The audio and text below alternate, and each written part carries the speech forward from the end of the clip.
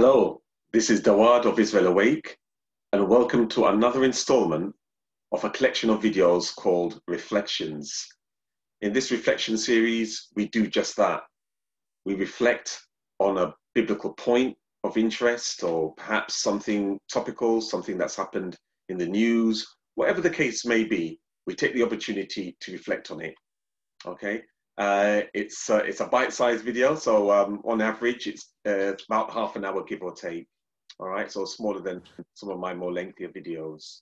All right, so in this particular video, um, I'd like to reflect on the holy days, the biblical holy days.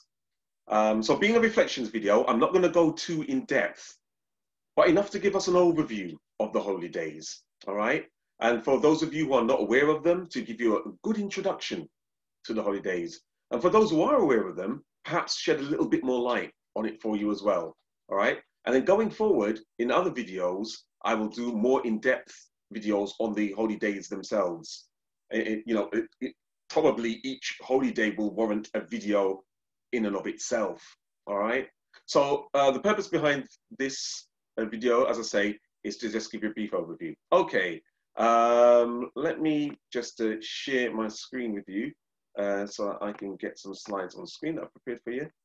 Okay, let's do this. All right. Okay, okay, excellent. Okay, so as you can see on the screen then, an overview of the holy days. Okay, as I say, my name's Dawad uh, of Israel Awake.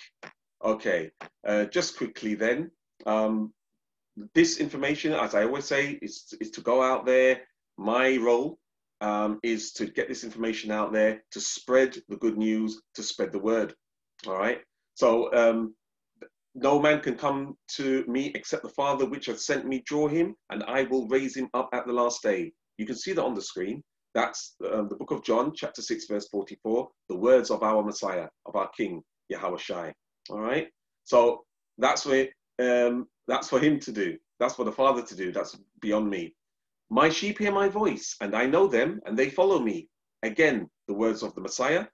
Okay, those who are his sheep will hear him. If if you're not his sheep, um, you won't hear him. That's way beyond my control, uh, way beyond my remit. All right. The only thing I would say is please do give this video a fair hearing. Okay, because um, we're dealing with things and material where it might be completely outside of what you're what you're used to. All right. So bear with it. Um, hear the content out. Okay. Uh, and then you know then take it from there. Yeah. So that's what I would say. Okay. Let's move on. Okay. So for many of you who may be going to you know today's churches. Okay. Uh, many of you will be familiar with the today's church calendar, if you like, the calendar of events. All right. Um, so I've taken some uh, from of uh, uh, uh, well some of the wording, some of the summaries from a website, um, Bolton University website. Actually, I've given the um, the source reference a, a, little bit later on. Um, but let's have a look. Advent Sunday. Yeah, most people would have heard of that one. Advent Sunday. Advent Sunday is the start of the Christian year. And in the Western churches, it's four Sundays before Christmas. The Advent season continues until Christmas. So uh, uh some of you may be observing this and have done so for years. Okay, moving on. All Hallows Day. Yeah, more, more, more commonly known today as All Saints Day. Yeah, the 1st of November. Again, all Saints' Day is a festival on the 1st of November when many Western Christian churches honor and give thanks for both known and unknown saints. All right, some of you will be aware of that. And a lot of you will be aware that the day before that is actually Halloween, right? Which, which uh, actually meant Hallowed Eve. Yeah, the eve before All Saints' Day. All right, but we're not going to go too deep in, in, into any of this, so I'll move on. Ascension Day. Okay, Many of you will be familiar with this uh, as well. Uh, Ascension Day marks the belief that Christ ascended to heaven after he was resurrected on Easter Day. Okay. Uh, moving on, Christmas Day. Everybody um, is familiar with this one. All right, the 25th of December, of course, in Western uh, in Western um, Christendom. All right. the 25th of December is the time when Western Christians celebrate the birth of Jesus, who Christians believe to be both the Messiah, yeah, Christ, the Son of God, divine. Eastern Orthodox Christians celebrate the birth on the 7th of January, yeah, like the Ethiopian Orthodox Church celebrate it on the 7th of January, okay? But that's Christmas Day. Epiphany, the 6th of January. Epiphany is a Greek word meaning to show and also marks the end of the 12 days of Christmas. Yeah, it's one of the reasons why some people keep their, um, if you like, uh, trees up until the 12th day, the cards up, Christmas cards up, decorations all stay up for 12 days. Well, that this goes back to the observance of Epiphany. All right, 12 days of Christmas in Western Christian churches. Uh, the Feast of the Epiphany celebrates the showing of Jesus to the Gentiles. All right, again, I'm not going to go too in depth there. Good Friday. Most people have heard of this one because it's part of the, the whole Easter observance. All right. Good, good Friday commemorates the death of Jesus by crucifixion and is called good because of Jesus' example of sacrificial love by giving his life for the healing of the world. So we get this observance of Good Friday. Uh, a lot of people, anybody who goes to church will, will, will know this one. All right. Um, who goes to today's, most of today's churches. Okay, Lent and Ash Wednesday. Um, not all denominations will do this. Um, I know, for example, the Roman Catholics most certainly do. Um, so Lent and Ash Wednesday. Lent is a time when Christians prepare for Easter, okay, by focusing more on prayer and spiritual studies, and occasionally by going out without food, fasting. Yeah, Lent lasts 40 days, uh, a, sig- a, significant number in Jewish Christian scriptures, and is the period which the Gospels record that Jesus spent fasting at the start of his ministry. Okay, so many people will be familiar with that. Okay, Mothering Sunday. Um, so a lot of people don't realize that actually the origins behind uh, Mothering Mother's Day actually um, has its origins in um, Roman Catholicism, all right, where Mothering Sunday is the fourth Sunday of the Christian period of Lent, and is very different from the um, American Festival of Mother's Day because the yeah, there's two separate Mother's Day. I won't go into that now.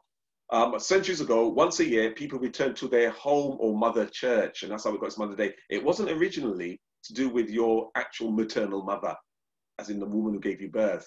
It was to do with the mother church. Uh, and, and, the way we've been observing it now in the in, in, in you know in, in the UK um, and for Europe, okay, um, and because people were going back to the you know originally back in the day, people would go to their mother church, and all all the young people yeah, would stop what they were doing. So because a lot of young people used to go out to work and work outside of the towns in which they grew up, uh, would return to their hometowns. Um, it was a time for gathering uh, and for seeing your mother. So your, the maternal mother, if you like, became intertwined with the whole observance of returning to your mother church. Because if you were going to return to your mother church, you you were returning to your hometown, you were going to see your mum again. All right. Anyway, um, I'm not going to get too deep into that. So the sources for this is I've taken this from uh, Christian Festivals and Holy Days from the University of Bolton, and I'm using this purely for educational purposes uh, to make reference to. All right. So um, there are other days, as we know, uh, which are not necessarily seen as, if you like, typical church days, um, but uh, a lot of them secular uh, anyway. But um, I, I, put them in here to make the point. So, for example, we know of New Year's Day for the 1st of January. Yeah, uh, birthday cakes and candles. Yeah, this has an origin to it as well. Everything has a story to it, a narrative, an origin. Yeah, Halloween, as I was saying, the day before um, All Saints' Day. Okay, so why, why do I mention these days? Well, I'm mentioning these days because these days have found themselves pretty much into most people's uh, calendars um, and practice, if you like. Um, and without thinking about it, people pretty much assume that there must be maybe a biblical origin. And I'm talking to my brothers and sisters who, who, who, are currently involved with some of the churches that you know that push these days, if you like. All right. Fact of the matter is, none of these days are commandments from the Most High for us to observe. Now, does that mean that um, you know it's bad to observe anything because it's not being commanded? Not necessarily. But there's an issue with these days, um, a lot of these days.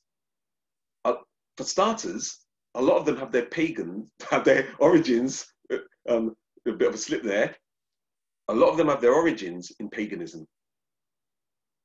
Paganism is obviously alternative uh, wisdom traditions and belief structures, yeah, um, observing other deities as opposed to the God of Israel, the Alahayam of Yasharal. Now, as Israelites, okay, we serve one God and one God only. And we do not borrow from other, um, if you like, religions or traditions or customs when it comes to, um, uh, you know, observing our deity, the God of Abraham, Isaac, and Jacob. Okay, it's been prescribed. We, we don't have to make it up. It was hand delivered to us by the Most High Himself. He, he teaches us how He wishes to be worshipped. He teaches us how, uh, how and what we should observe. All right. Now, as I say, this is just a brief overview. So uh, each one of these things could go. I could go into depth on.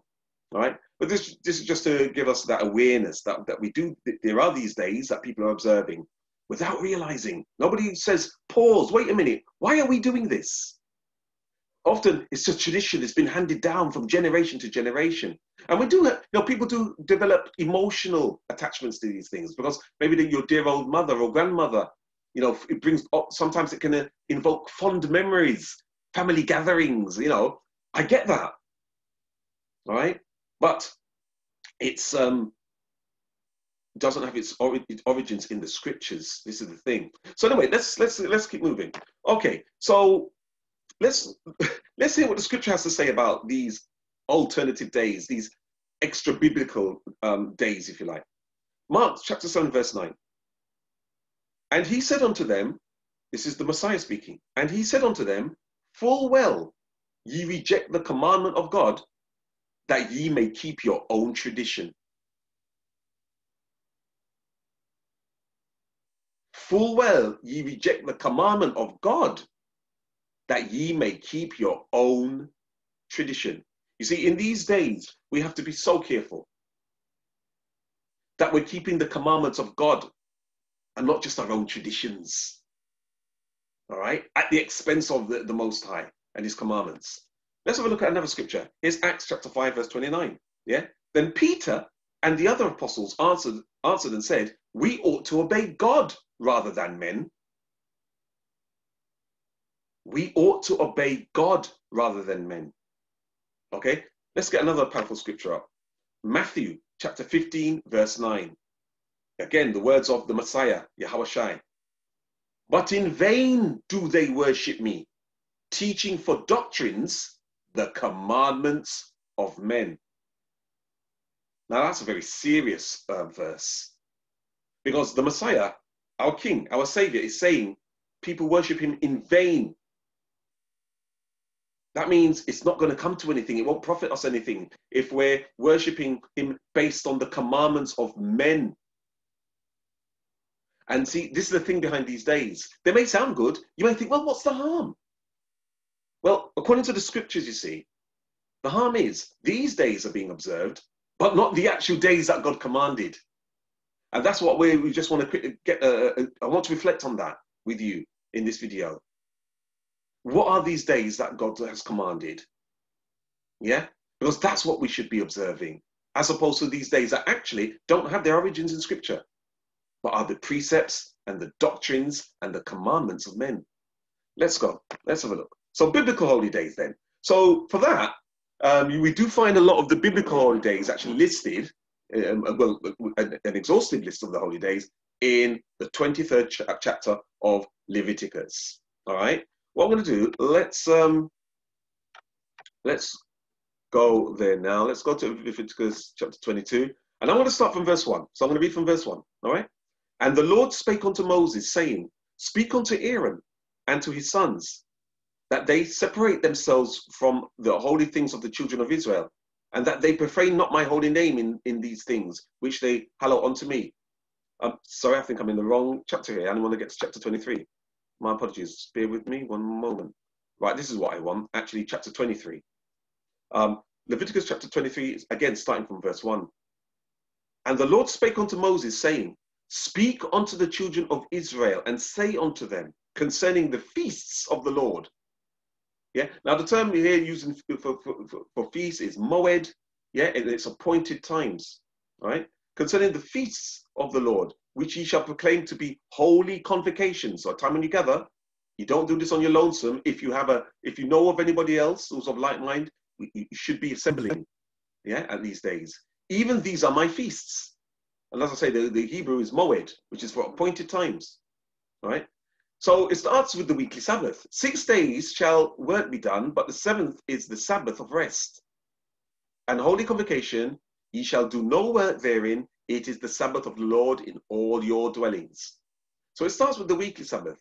But then after commanding the weekly Sabbath, it then goes on to command annual holy days. Nowhere in Leviticus chapter 23 will you find Christmas. Easter, Day of Ascension, all the other days that I brought out at the beginning of this video, they're not listed because they are not the commandments of the Almighty. All right? We need to be getting back to the commandments of the Almighty. All right? We as a people fell because we stopped keeping the commandments of the Almighty. Yeah, it's so important for us. Okay, so um, it starts with the weekly Sabbath, right? Uh, then verse 4 of chapter 23. These are the feasts of the Lord, even holy convocations, which you shall proclaim in their seasons. In the 14th day of the first month, at even, is the Lord's Passover. All right? So we've got Passover. Now, as I say, each feast will need its own video. Okay? And, I, and you know, I, I, I do intend to do that. All right? So do keep a lookout for that. All right? But for now, just to say, the first annual day of the year is the Passover. Okay, it's the Passover. Um, so I've got it here, Passover. Okay. Um, now it's actually one of the days. It begins the whole period of the days of unleavened bread. All right. Um, so let's look at here. In fact, let me go back up here. So Passover, Leviticus 23, verse 5. Yeah, we just read that. But I want to show you some um, New Testament um, verses that correspond to it as well. All right. So the Passover. Now, for those of you who don't know, um, the Passover got its name, and I'm not going to go there now. But the, the angel of death, when we were in captivity in Egypt, yeah, in the first captivity um, in Egypt, the angel of death passed over us. But it only passed over us or, our homes if we had obeyed God's commandment to sacrifice a lamb and to put the blood of that lamb on the doorposts, yeah, of our homes and on the top of the, you know, on the, around about the door of, of, of our homes. All right. So those who didn't keep that commandment, those who didn't observe that, wouldn't have been spared when the angel of death came to smite the firstborn of Egypt. All right. So that's where the term came from. All right. But actually, the lamb that we sacrificed back then was a type, it was a substitute, a precursor, if you like, to the ultimate sacrifice that would come, which would be the Messiah himself. All right. So um, it's a day that he observed the day. That's why he was, that's what the Last Supper was. That Last Supper was the Passover meal. They were keeping Passover as they did every year. All right. So uh, let's go over to Matthew chapter 26, verse 1. And it came to pass when I'm using um, the Blue Letter Bible Online Bible, yeah, the King James Version of it. And it came to pass when Jesus had finished all these sayings, he said unto his disciples, Ye know that after two days is the feast of the Passover. And the Son of Man is betrayed to be crucified. This is a very revealing verse, verse 2 of Matthew chapter 26, because what it's showing you is that in the Messiah's mind, he knew what the Passover was all about. The Passover for him, he knew that he was going to be the fulfillment of it.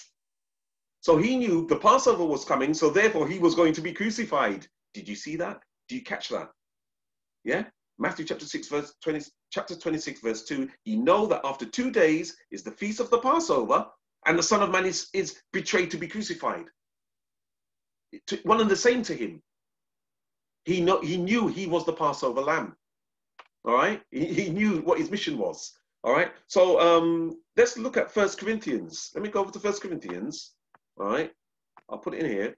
Uh, First Corinthians chapter 5, verse 7. All right, this will make it even clearer. Okay, it now. First Corinthians chapter 5, verse 7. Purge out therefore the old leaven. Notice how Paul is using the terms leaven because Passover and leavened bread are of the same period of time. Yeah. Purge out therefore the old leaven, that ye may be a new lump, as ye are unleavened. For even Christ, our Passover, is sacrificed for us.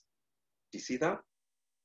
Yeah. So Passover, back in the day, you see, these days, remember, the Old Testament is the New Testament concealed. The New Testament is the Old Testament revealed. So in the Old Testament, we, we, there we are, you know, if you like, sacrificing a lamb. Well, the, the, the fulfillment of that is the Messiah, Yahweh himself, as the sacrifice.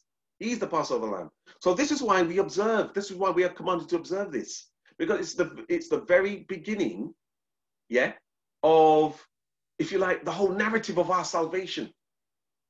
Yeah. Your our salvation begins with the sac- without the sacrifice of, of, of, of Yahweh Shai, we, we, we're, still, we're doomed, still in our sins. Yeah, the sins are still, the, the curse is still poured out on us. Yeah, uh, without any hope. All right.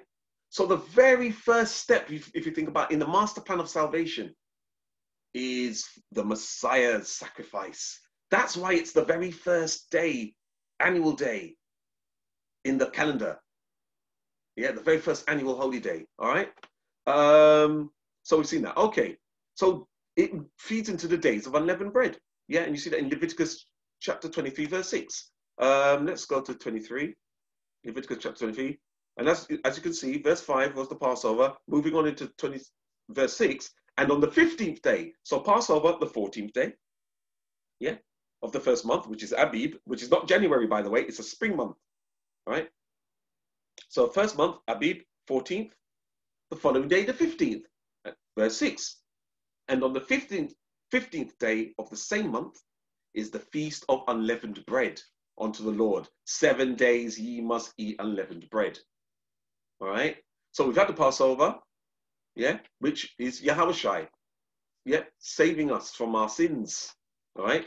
Then we're told to eat unleavened bread seven days. All right. So why do that? Well, um, again, remember, uh, let's go to the New Testament, the Old Testament revealed. Okay. So let's go to Matthew 26 again. All right. And let's go down to verse 17. Yeah. Now, the first day of the feast of unleavened bread, the disciples came to Jesus, saying unto him, Where will thou that we prepare for to eat the Passover? So that's making it very clear that the disciples and the Messiah kept these days. Right. Um, yeah. Um, but what's the teaching behind it? Okay, well, let's go to First Corinthians. Yeah, as written here, First Corinthians chapter 5, verse 68. Let's have a look at that. Let's see what we can glean from it. First Corinthians chapter 5, and let's go to verse 6. Um, right. Your glory is not good. Know ye not that a little leaven leaveneth the whole lump? Look at the analogy here. Look at the use of language here. Yeah. Purge out, therefore, like we read earlier, purge out, therefore, the old leaven that ye may be a new lump. As, yeah. So we, we so we we are the we are the, the, the bread, if you like. Yeah. Purging out the old leaven. The leaven is a type of sin. It's symbolic of sin. So the feast of unleavened bread is all about um, only eating leavened bread, which is seen as, if you like, the sinless bread. Yeah. Yeah. Only for this time of year, by the way. It's okay to eat leaven any other time of the year, but it becomes very symbolic during the days of unleavened bread. So that's what the days of unleavened bread are all about. It's about you've now been saved from sin, so you don't dwell in sin. Come out from it. Now that you're saved from it, come out from it. So that's what the days of unleavened bread are all about. All right. So purge out therefore the old leaven in verse seven of First Corinthians chapter five, that ye may be a new lump as ye are unleavened. But even Christ our Passover uh, is sacrificed for us. Okay. Look at verse eight. Therefore, let us keep the feast. And it's talking about the feast of unleavened bread because that's the context. Therefore, let us keep the feast. So we're supposed to be keeping it. Therefore, let us keep the feast, not with the old leaven, neither with the leaven of malice and wickedness, but with the unleavened bread of sincerity and truth. Do you see that? Do you see how in the Old Testament um, it was the actual, you know, it's it's it's the bread in the New Testament. It it, it gives us more of a of a of the the meaning behind it. You see how it's coming to the fore? Okay, these days, you see, when we don't keep these days, we're missing the master plan of salvation. These days are supposed to be kept to keep us in keep us in constant memory, a constant yearly reminder of what God is doing for us, what the plan is. The, the holy days are a blueprint of the master plan of salvation. It actually explains, you get the storyline. These days aren't random. The Father didn't say do these days because I just fancy, I just feel like it. It's, it's symbolic of a, of, of, of, a truth. And the truth is the master plan of salvation. All right. So um, these are the days of unleavened bread. I'm not going to labor the point now because, uh, as I say, there will be other videos where we'll go in depth on these days. All right. Okay. So first fruits. Yeah, that's also um, another day. You see that in Leviticus chapter 23, verse 9 to 11. Yeah. I'm not going to go into it now, but basically the first fruits. Um, we're all about the first fruits, the harvest. It's, it's basically a harvest festival. Yeah. But, but then when you get into the New Testament, the, the revelation of that is that actually Christ was the first fruit, the firstborn of many brethren. Okay. In terms of being resurrected. Okay. And the elect, those are the, the chosen, the elect today. Anybody who, uh, who is responding and awakening today are also seen as first fruits. Okay. Anybody who awakens this side of Yahushua's return is seen as the first fruits. All right. So I've got some scripture references here. I'm not going to go into it now. All right. But if you want to read about the actual day, the origin of the day, that's Leviticus 23, verse 9 to 11. Um, and if you want to learn a little bit more about first fruits themselves, um, have a look at like Romans 8:23 and verse 29. But as I say, I will be doing more in-depth videos, you know, and having an in-depth look at that. All right. But basically, the storyline then Passover, you're saved from your sins. Days of unleavened bread, it's not a license to sin. Come away from sin. First fruits, well, if you're coming away from sin, you're now considered a first fruit. You see, it's, it's a blueprint for the master plan of salvation. It's followed then by Pentecost. Okay, again, um, some call it Whitsun, some call it, it's the Feast of Weeks. All right, um, you find reference to that in Leviticus chapter 23, verses 15 to 16. All right. You find um, that it was observed. Everybody's heard of the day of Pentecost because the day when the Holy Spirit came down in Acts chapter 2, for example. Yeah, that famous scene and coming down, the Holy Spirit coming down upon the heads of the disciples as flames of fire and then them speaking in tongues. Yeah. And in special tongue, in, in, in, in very high power tongues, everybody could hear them and understand them in their own language. All right? But why were they gathered together in the first place? Because they were keeping the Feast of Pentecost. You see, these days have not been done away with. Yeah, the confusion is when you get to Leviticus, sometimes you'll find reference to animal sacrifice. Well, we don't engage in animal sacrifice. In fact, as we saw, Yahushua himself was the ultimate sacrifice. He is the Passover lamb, for example. All right. So we don't do that today. We couldn't do it if we even, even if we wanted to because we don't have the temple. All right. But we don't do that today. Okay. Um, but you don't throw the day out along with the sacrifices. Just because we don't do the sacrifices doesn't mean you don't keep the day. Yeah? Especially when you begin to understand the fulfillment in the days in which we're living in, the fulfillment of the days, the very meaning behind the days, all right? So Pentecost if you're first fruit, you see, you're then given extra measure of the Father's own Holy Spirit. You see, that's what Pentecost is all about. Um, this is then now. Now these days have already come and gone for those who uh, don't keep these holy days. We've already had Passover. Yeah, that was um, in the month of Abib. So you were, you were talking roughly uh, around around April of this year. Yeah, um, we've had the days of unleavened bread. We've had the, the, the Feast of the First Fruits. We've had Pentecost. All right. The next um, holy day to come is this one here, the Feast of Trumpets, the memorial of the blowing of trumpets.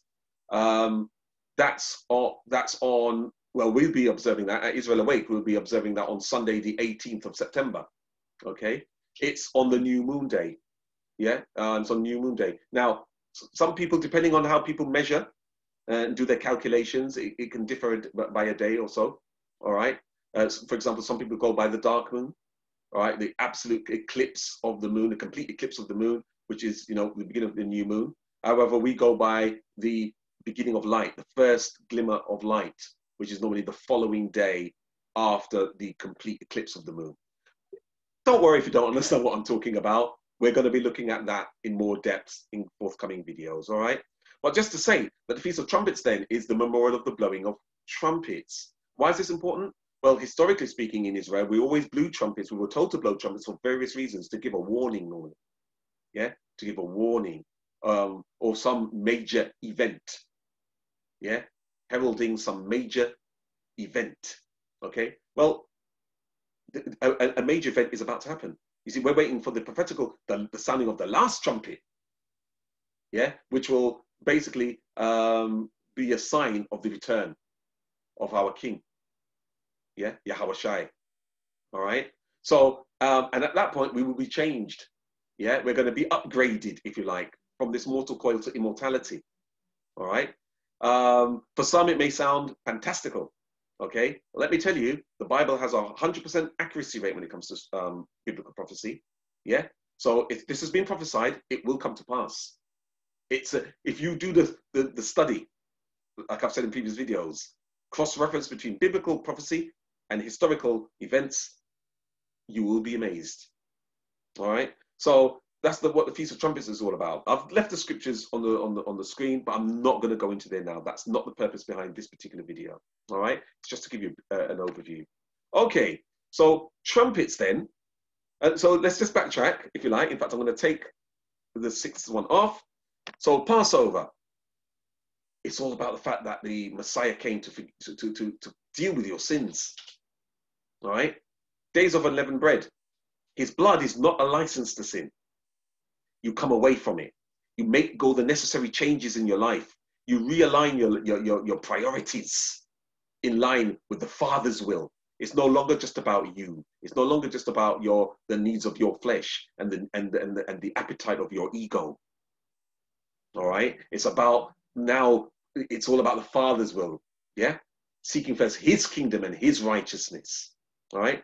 So days of unleavened bread. That's what we're acting out. That's what we're living out. All right. And that's what, what we're remembering when we keep these days.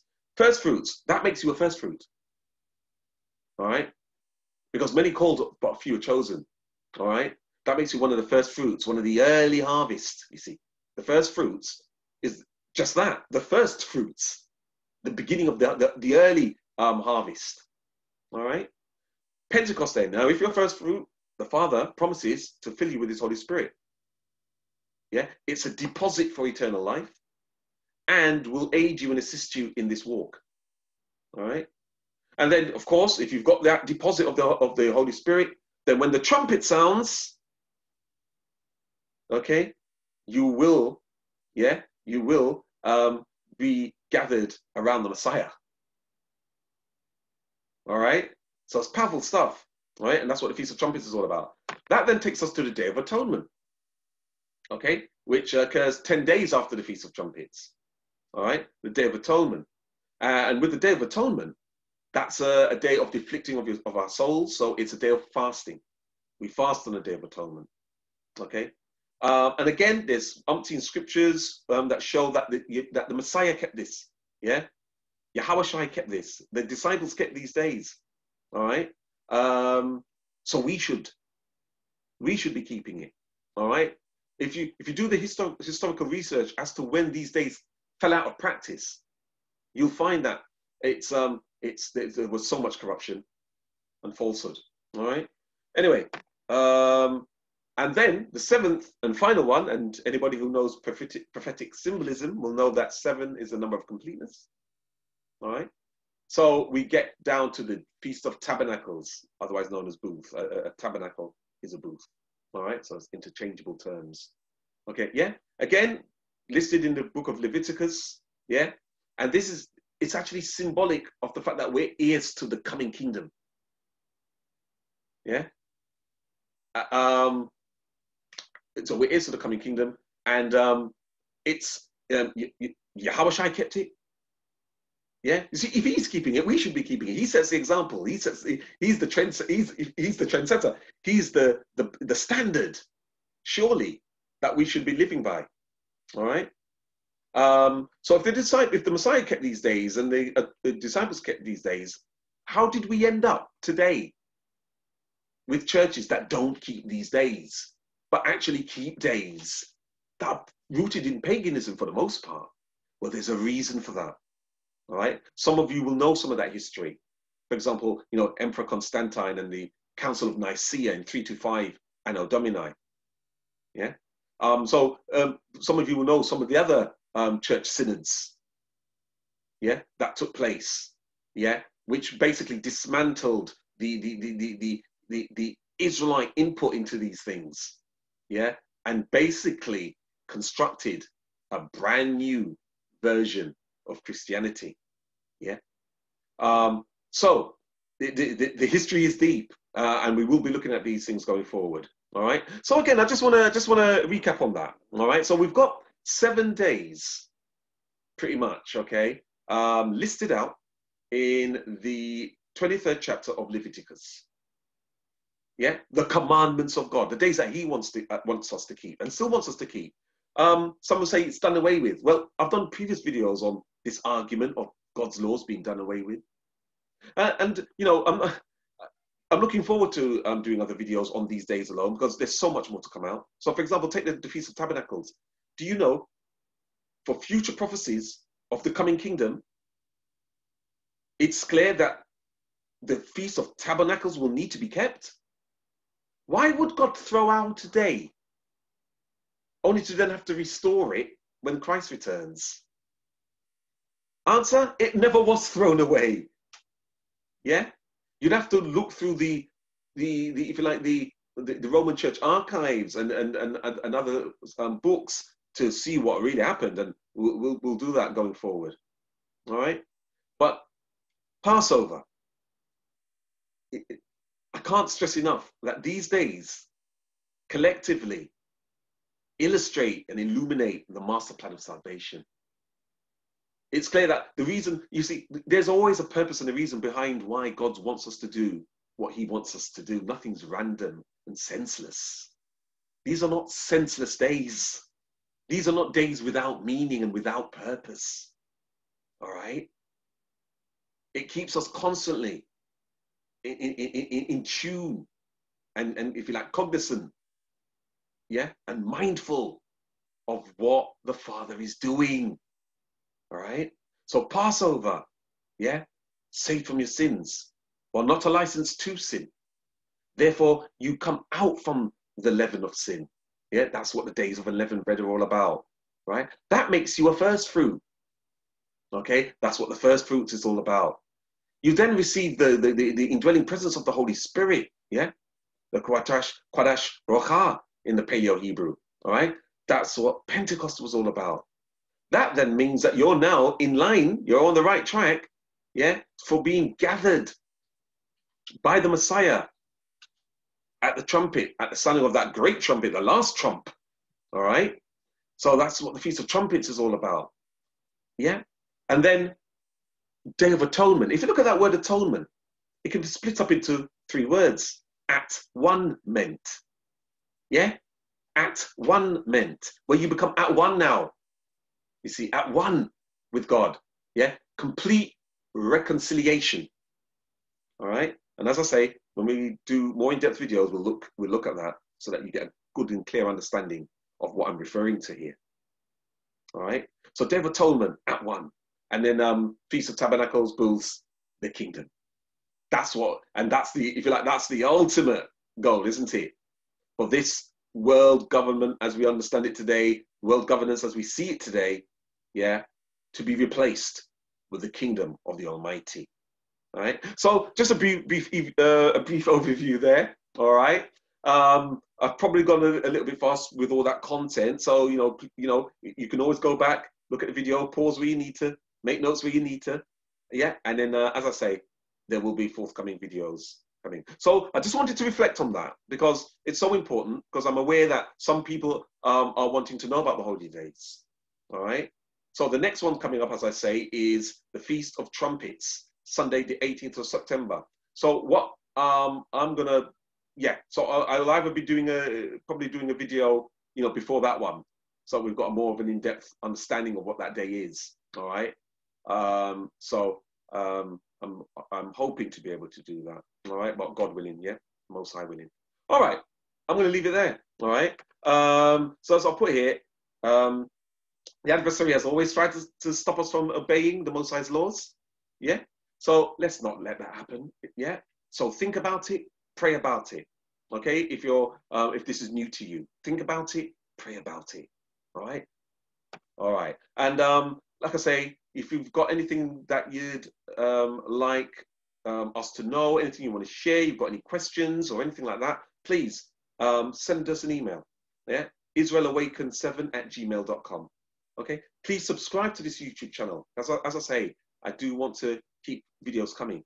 All right, so please do uh, subscribe and do click on all notifications. Yes, yeah? so when you click on the bell, opt for all notifications to ensure that you do receive all notifications.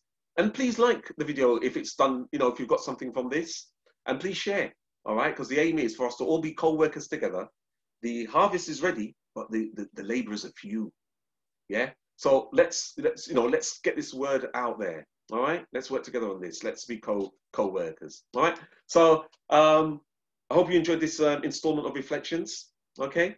Um, and I look forward to um, uploading uh, other videos going forward. All the very best.